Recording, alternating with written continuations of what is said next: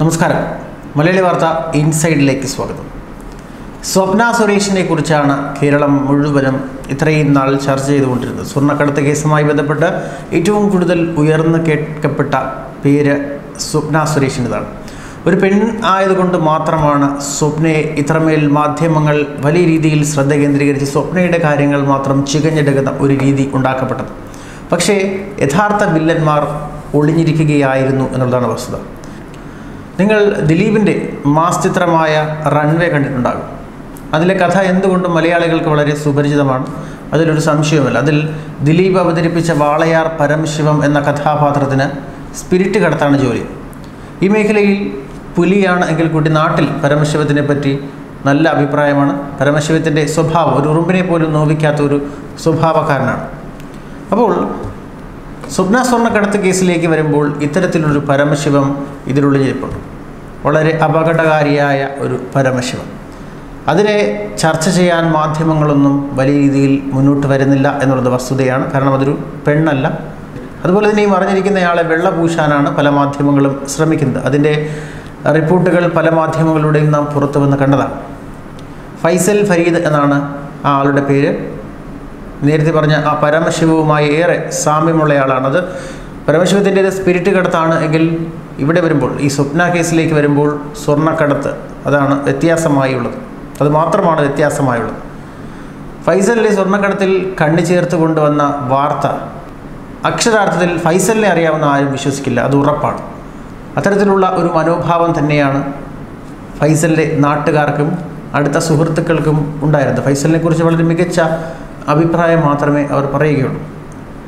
ഈ ഒരു വാർത്ത കേട്ടപ്പോൾ അവർ അക്ഷരാർത്ഥത്തിൽ ഞെട്ടുകയായിരുന്നു. അവർക്ക് ഇപ്പോഴും അമ്പരപ്പ് മാറിയിട്ടില്ല എന്ന് തന്നെ പറയാം. യു എ മുനിസിപ്പൽ വനക്കാരനായിരുന്നു പിതാവ് ഫരീദ് ഫൈസലിന്റെ പിതാവ് ഫരീദ്. ഫൈസലിലെ കേരളത്തിലെ വിദ്യാഭ്യാസം പത്താം ക്ലാസ് തോറ്റയാളാണ് ഫൈസൽ. തോറ്റതോടുകൂടി പിതാവ് ഫൈസലിനെ ഗൾഫിലേക്ക് കൊണ്ടുപോവുകയായിരുന്നു. അവിടെ പഠിക്കുന്നതിനിടെ അറബിയിലടക്കം പല ഭാഷകളിലും സ്വാഭാവികമായും സ്വായക്തമാക്കുന്ന ഒരു രീതിയുണ്ടായി. അങ്ങനെ ബഹുഭാഷാ മികവ് കൈവന്നതോടുകൂടി അത് ഉപയോഗപ്പെടുത്തിക്കൊണ്ട് വൻകിട കമ്പനികളുടെ പി ആർ ഒ ആയാണ് ഫൈസൽ ജോലി ആരംഭിക്കുന്നത്.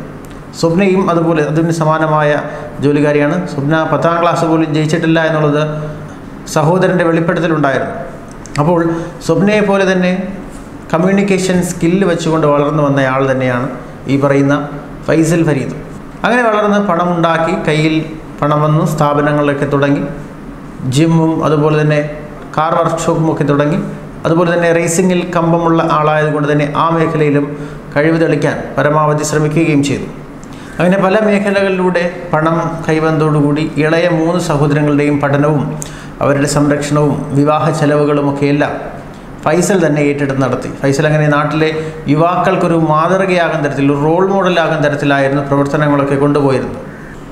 സഹോദരങ്ങളും ഇപ്പോൾ ദുബായിലാണ്. പത്ത് വർഷം മുൻപ് പിതാവ് ഫരീദ് നാട്ടിൽ തിരിച്ചെത്തുകയുണ്ടായി. ക്യാൻസർ ബാധനായതോടുകൂടി പിതാവിനെ ഫൈസൽ ദുബായിലേക്ക് വീണ്ടും തിരിച്ചു കൊണ്ടുപോവുകയാണ് ചെയ്തത്. കഴിഞ്ഞ മാർച്ച് മുപ്പത്തിയൊന്നിന് പിതാവ് മരിച്ച വാർത്തയും പുറത്തു വരികയുണ്ടായി. തൃശ്ശൂരിൽ നാൽപ്പത്തിയേഴ് കിലോമീറ്റർ അകലെ കയ്പമംഗലം മൂന്ന് പീടിക അങ്ങാടിയിൽ നിന്ന് അര കിലോമീറ്റർ മാറി ബീച്ച് റോഡിലാണ് ഫൈസൽ പുതുതായി ഒരു വീട് നിർമ്മിച്ചത്. പിതാവിന്റെ പേരിലുള്ള ഈ വീടും പറമ്പുമൊക്കെ ഈടായി വെച്ചുകൊണ്ട് സമീപത്തെ സഹകരണ ബാങ്കിൽ നിന്ന് ഒരു വായ്പ എടുക്കുകയുണ്ടായി. ആ വായ്പയും തിരിച്ചടച്ചിട്ടില്ല എന്നതാണ് നമുക്ക് ഏറ്റവും ഒടുവിൽ പുറത്തു വരുന്ന വിവരം. പലിശപ്പിഴയടക്കം നാൽപ്പത്തിയഞ്ച് ലക്ഷം രൂപയുടെ ബാധ്യത ഇപ്പോൾ ഫൈസൽ ഫരീദിനുണ്ട്. ബാങ്ക് ജപ്തി നടപടികൾ തുടങ്ങിയെങ്കിലും രോഗാവസ്ഥ വിവരിച്ചുകൊണ്ട് ഫരീദ് നൽകിയ അപേക്ഷ പരിഗണിച്ചുകൊണ്ട് തൽക്കാലം അത് നിർത്തിവെക്കുന്ന ഒരു രീതിയാണ് ഉണ്ടായത്. സമ്പന്നനെന്ന് പുറത്തറിയിക്കാതിരിക്കാനാണ് ഫൈസൽ നാട്ടിലെ സ്വത്തുവകകൾ കടപ്പെടുത്തിയത് എന്നാണ് നാട്ടുകാർ ഇപ്പോൾ കരുതുന്നത്. കാരണം ഈ റിപ്പോർട്ടുകൾ ഇപ്പോൾ പുറത്തു വരുന്ന റിപ്പോർട്ടുകൾ അത്തരത്തിലുള്ളതാണ്. ഫൈസൽ എന്തുകൊണ്ടും സ്വർണ മാഫിയുമായി സ്വർണക്കടത്തുമായി ബന്ധമുണ്ട് എന്നുള്ള കാര്യം നൂറ് ശതമാനം സ്ഥിരീകരിക്കപ്പെട്ടിരിക്കുന്ന ഒരു അവസ്ഥയാണ്. ഇത് വെറുതെ പറയുന്നതല്ല കൃത്യമായ ചോദ്യം ചെയ്യലുകളുടെയും തെളിവുകളുടെയും അടിസ്ഥാനത്തിൽ കസ്റ്റം ഉദ്യോഗസ്ഥരും എൻ ഐ ഉദ്യോഗസ്ഥരും പുറത്തുവിടുന്ന വിവരമാണ്. അങ്ങനെ വരുമ്പോൾ ഒരിക്കലും ഇനിയും ആ മുഖം മൂടി വെച്ചുകൊണ്ട് ഫൈസൽ ഫരീദിന് നാട്ടിൽ ഇറങ്ങി നടക്കാൻ കഴിയില്ല. മുഖം മൂടിയെല്ലാം വലിച്ചു കീറേണ്ട സമയമായിരിക്കുന്നു. വളയാർ പരമശിവത്തിലും നാം അത് കണ്ടതാണ്. ഏറ്റവും അവസാനമായി വരുമ്പോൾ ദിലീപിന്റെ ആ യഥാർത്ഥ മുഖം അടുത്തുള്ളവർ തിരിച്ചറിയുന്നുണ്ട്. അതുപോലെ തന്നെ ഇവിടെയും ഫൈസൽ ഫരീദിന്റെ യഥാർത്ഥ മുഖം ഇപ്പോൾ വലിച്ചു കീറപ്പെടുകയാണ്. മുതിർന്നവരോട് വലിയ ബഹുമാനത്തോടെയാണ് ഈ യുവാവ് പെരുമാറാറുള്ളത് എന്ന് തന്നെയാണ് അടുത്തുള്ള അയൽവാസികളും. അതുപോലെ തന്നെ മുസ്ലിം ലീഗ് മണ്ഡലം സെക്രട്ടറിയായ താജുദ്ദീൻ അടക്കം മാധ്യമങ്ങളോട് വെളിപ്പെടുത്തിയിരുന്നത് ഫൈസലിന് പ്രത്യക്ഷത്തിൽ ഒരു രാഷ്ട്രീയമൊന്നുമില്ല. നാട്ടിൽ വരുമ്പോൾ പരമാവധി രണ്ടാഴ്ച മാത്രമേ ഇവിടെ നിൽക്കാറുള്ളൂ. പഴയ സഹപാഠികളെ കൂട്ടുപിടിച്ചുകൊണ്ടാണ് നാട്ടിൽ നടത്തു മുഴുവൻ. ഇപ്പോഴും അവരുടെ സൗഹൃദ വലയത്തിലുള്ളവർ മാത്രമാണ്. അവരൊന്നും ഈ കള്ളക്കടത്ത് കേസുമായി ബന്ധപ്പെട്ടുള്ള കാര്യങ്ങൾ വിശ്വസിച്ചിട്ടില്ല എന്നുള്ളതാണ്. പക്ഷേ ഇപ്പോൾ ചെറിയ സംശയങ്ങൾ അവർക്ക് ഉണ്ടായി തുടങ്ങി. അവർ വയസ്സിലുമായി പരമാവധി അകലം പാലിച്ച് നിൽക്കുന്നുണ്ട് എന്ന് തന്നെയാണ് മനസ്സിലാക്കാൻ കഴിയുന്നത്. കള്ളക്കടത്തുമായി ബന്ധപ്പെട്ട ചിത്രങ്ങളൊക്കെ പ്രചരിച്ചപ്പോൾ കൂട്ടുകാർ തന്നെയാണ് വാട്സാപ്പിലൂടെ ബന്ധപ്പെട്ടിരുന്നത്. എന്നാൽ ഫൈസൽ എന്ന് ചിരിച്ചു തള്ളിയെങ്കിൽ ഇന്ന് ഒരു കാര്യത്തിനും ഉത്തരം നൽകുന്നില്ല എന്നാണ് അറിയാൻ കഴിയുന്നത്. ഇപ്പോൾ ഫൈസലുമായി ബന്ധപ്പെടാൻ പോലും സാധിക്കാത്തൊരവസ്ഥയാണ്. ആഡംബര കാറുകളുടെ വർക്ക്ഷോപ്പ് അടക്കമുള്ള ബിസിനസ്സാണ് പുതുതായി ഫൈസൽ ഗൾഫിൽ തുടങ്ങിയ ഒരു സംരംഭം.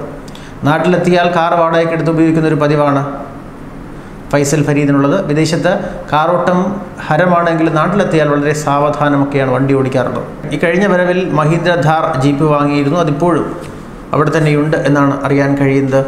എന്തുകൊണ്ടും ഒരു സൗമ്യ സ്വഭാവക്കാരനായി നടക്കുകയും പക്ഷേ വലിയ വലിയ ഡീലുകൾ ഉറപ്പിക്കുകയും ചെയ്യുന്ന ഒരു രീതി ഫൈസൽ ഫരീദിന്റെ സ്വഭാവ സവിശേഷതയാണ് അതാണ് ഇപ്പോൾ പുറത്തു വന്നുകൊണ്ടിരിക്കുന്നത്. കസമിന്റെയും എൻ ഐയുടെയും റിപ്പോർട്ടുകൾ ഞെട്ടിപ്പിക്കുന്നതാണ്. ഫൈസലിൽ നിന്ന് ഒരിക്കലും ആരും പ്രതീക്ഷിക്കാത്ത കാര്യങ്ങളാണ് ഇപ്പോൾ പുറത്തു വന്നുകൊണ്ടിരിക്കുന്നത്. എന്തുകൊണ്ടും ഈ ഒരു ബന്ധത്തിൽ ഫൈസൽ ഫരീദിനുള്ള ബന്ധം പൂർണമായും ഊട്ടി ഉറപ്പിക്കുകയാണ് കസ്റ്റംസും എൻ ഐ എയും ഇനി ഫൈസലിനെ പൂട്ടുകയാണ് അടുത്ത ലക്ഷ്യം. ഇന്റർപോളിന്റെ സഹായം അതിനുവേണ്ടി തേടിയിട്ടുണ്ട്. അല്ല എങ്കിൽ എൻ ഐ എ ഉദ്യോഗസ്ഥർ ഗൾഫിലെത്തി അറസ്റ്റ് ചെയ്യുകയോ അല്ലെങ്കിൽ അവിടുത്തെ പോലീസിന്റെ കൂടി കേരളത്തിലേക്ക് കയറ്റി അയക്കുകയോ ചെയ്യുകയാണ് അടുത്ത നടപടി. ആ നടപടിക്രമങ്ങളിലേക്കാണ് ഇപ്പോൾ പോയിക്കൊണ്ടിരിക്കുന്നത്. ന്യൂസ് ഡെസ്ക് മലയാളി വാർത്ത ഇൻസൈറ്റ്